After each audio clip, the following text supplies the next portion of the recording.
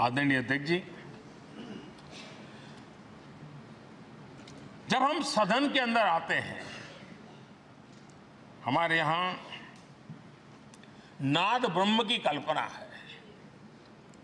हमारे शास्त्रों में माना गया है, किसी एक स्थान पर अनेक बार एक ही लय में उच्चारण होता है तो वो तपोस्थली बन जाता है।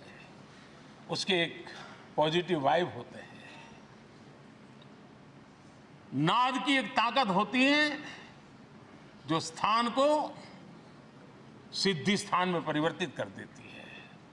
मैं मानता हूँ ये सदन भी उस सात, साढ़े सात हज़ार जनप्रतिनिधियों के द्वारा बार बार जो शब्द गूंजे हैं, जो वाणी यहाँ गूंजी है, उसने इस सदन में हम बैठकर आगे चर्चा करें या ना करें, लेकिन इसकी गूंज इसे तीर्थ क्षेत्र बना देती है।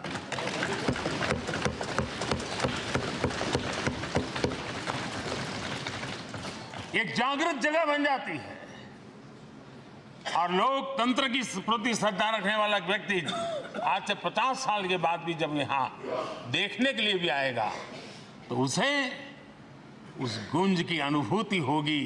कि कभी भारत की आत्मा की आवाज़ यहाँ पर गुंजती थी। और इसलिए अध्यक्ष महोदय,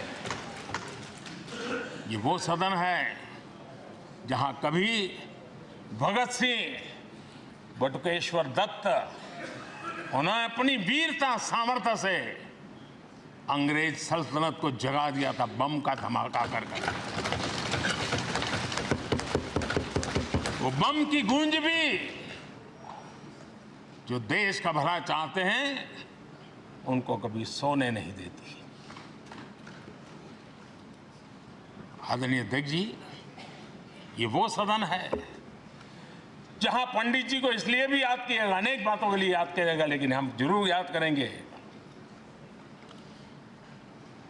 इसी सदन में पंडित नेहरू का at the stroke of midnight की गुंज हम सबको प्रेरित करती रहेगी। और इसी सदन में अटल जी ने कहा था,